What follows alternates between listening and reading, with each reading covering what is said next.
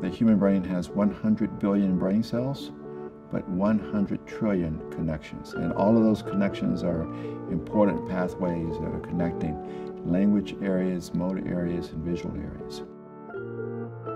One of the real advantages for us in having the Synaptive BrightMatter technology is that this technology allows us to be able to see those important pathways and where they are in the patient's brain before surgery so that we can actually plan a safe corridor to sneak into the brain to avoid damaging or interfering with those pathways.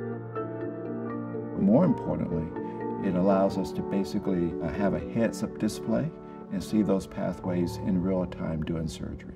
So when we go and try to remove a very complicated tumor or vascular malformation in the brain, we can now really for the first time see those important connections and make sure that we don't damage them, hopefully giving better outcomes for our patients.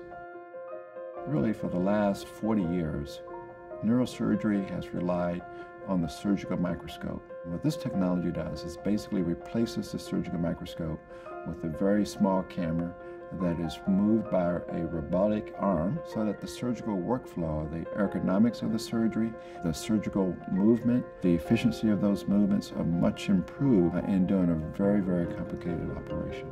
Cedars is really at the forefront of this technology. I think we were one of the first hospitals in Southern California to acquire this technology. So the big advantage now is that we can use it routinely and really provide that very critical and important information on all of our patients.